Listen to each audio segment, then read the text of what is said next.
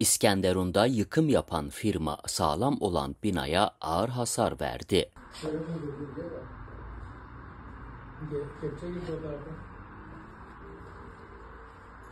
6 Şubat depremi sonrasında ağır hasarlı olan binaların yıkım çalışmaları yoğun şekilde devam ediyor. Kurtuluş Mahallesi Mithatpaşa Caddesi üzerinde bulunan Orkide Apartmanı yıkım sırasında üzerine düşen bir başka bina nedeniyle kolonları kırıldı.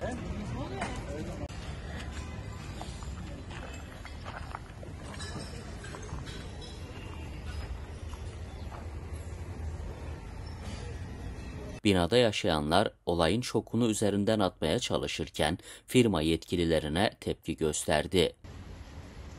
Daire sahipleri yaşanan durum karşısında ne yapacağını kara kara düşünürken binanın kolonunun kırılması ve duvarın yıkılması büyük sorun.